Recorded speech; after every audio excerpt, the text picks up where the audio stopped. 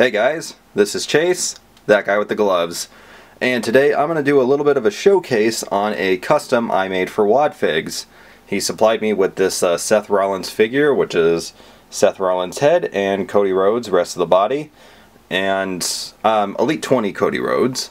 So, what did we do here? Well, starting off, I took some sandpaper and rubbed away all of the deco that was on this Cody Rhodes figure you know, he had the red, the white, and the black trunk, so I had to basically scrape all that stuff off. And you know what? It came off pretty damn well. And I had pure white tights all the way around, so that was really cool.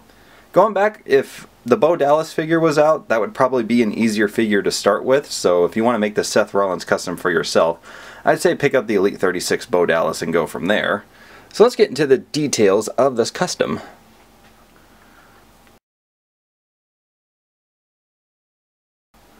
So first thing, scraped off all of the white wrist tape on his right arm and gave him that neon green and black uh, wristband.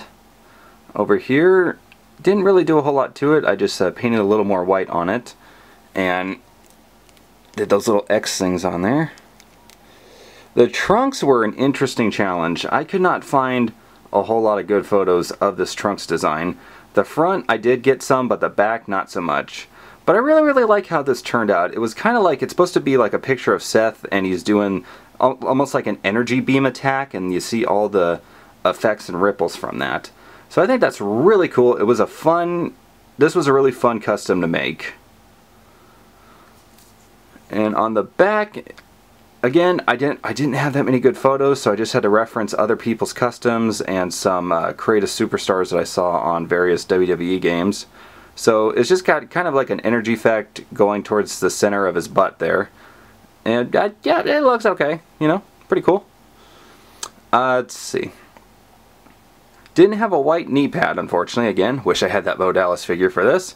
So I just painted a black one and then touched up the very top of the rim so it looked more like the actual knee pad that he wore.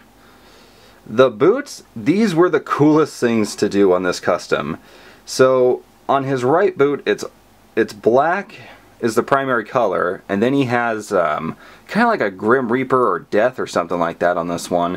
And then it's got, you know, just kind of like a, almost like a Rising Sun type style with the, the black and green parts shining out of him. And yeah, I really like how that one turned out. Um, on his left boot, had to repaint this whole thing white. It's got that green energy effect, same as the other boot.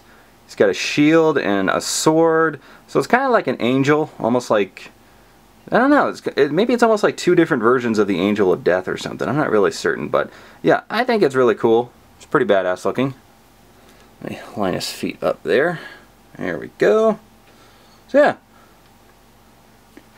and again, white's one of those really hard colors to do. You have to do a lot of coats, especially when you're painting on black, just to make it look even.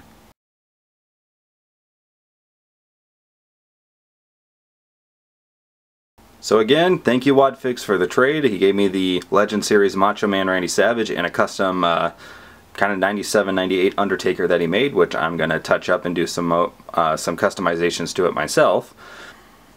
Okay, now I have gotten offers from other people to make this custom, which I did agree to it, but I just want to point out I'm not going to be making 20 or 30 of these guys. I'm not a sweatshop. You know, I can't hire child labor force because, you know, American laws. Kidding. So, but please understand, I would love to make customs for everybody. Sometimes I just can't. I either don't have the time or the offer is not good enough. So, please understand that. Only one man here. One man show. Wodfigs, thank you again for this challenge. This was really cool. This was a fun custom to make. I hope you do enjoy him, sir.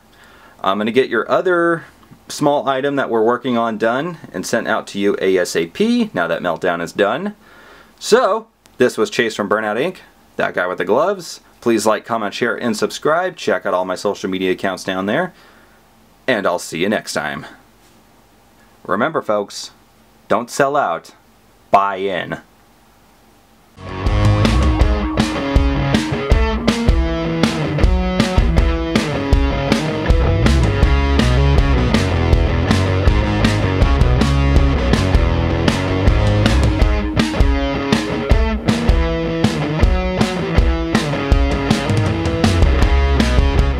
Got that green energy. Uh, it's got that green energy effect, same as the other leg.